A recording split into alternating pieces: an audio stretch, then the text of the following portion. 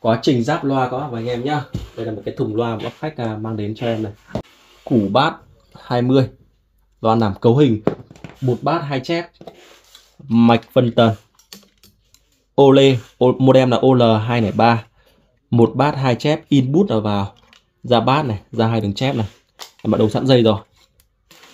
Chạm loa. Loa chép giấy mạch phân tần thì anh em mua thì em cũng sẽ hàn sẵn dây dẫn cho các bác và anh em như này. Về anh em chỉ việc đấu thôi. Trước tiên thì anh em cố định cho em cái mạch phân tần vào cái thùng loa. Mình tận dụng thì mình giáp lại một cái loa hoàn chỉnh. Thay hết từ phân tần đến củ bát. Anh em quan sát thì em đã cố định à, cái mạch phân tần vào cái thùng loa. Ở đây rồi, nhá. Rồi bây giờ cái dây dẫn thì đã có sẵn. Anh em chỉ việc à, để theo cái vị trí từng vị trí tương ứng nhá. Thứ nhất là input này. Input là dây từ vào thì mình sẽ đấu vào cái phần cọc loa dây cho hai chép để ra ngoài như này. Dây cho lọc bát. Và đã lót sẵn bông rồi anh em nhé bông trong thùng loa để làm gì? Bông trong thùng loa là để nó giúp giảm cái sóng phản xạ trong thùng. Còn đây là chạm loa. Đấy, chạm loa thì mình sẽ hàn.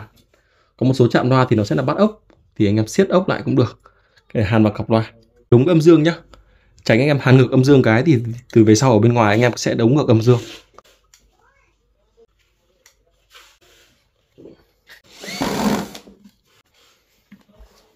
Thì anh em chỉ việc đấu vào từng củ loa tương ứng thứ nhất là củ chép. À, nếu như anh em không có bỏ hàn thì anh em hoàn toàn có thể là vặn dây vào và bọc co nhật lại hoặc là bọc băng dính cách điện lại và những cái phần tiếp điểm cũng được. Ở đây mình có mỏ hàn thì mình hàn.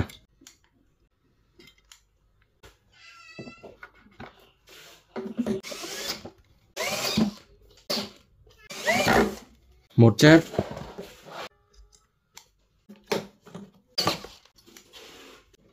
Kiểm tra lại lần cuối và sau đó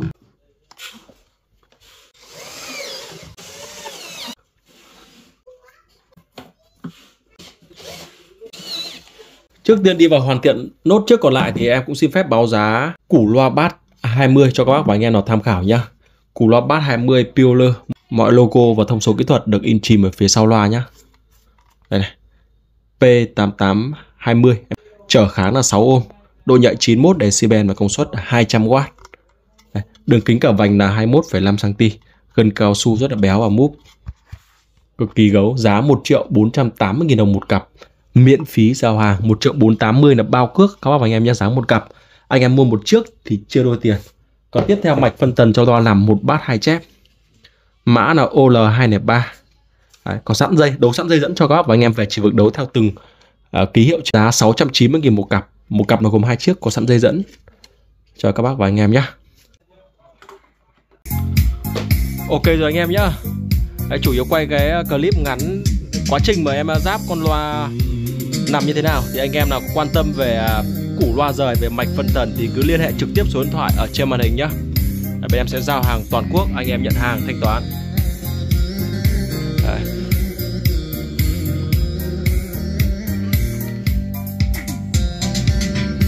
Test và chưa âm ly Zinet này. Đấy, mini thế này.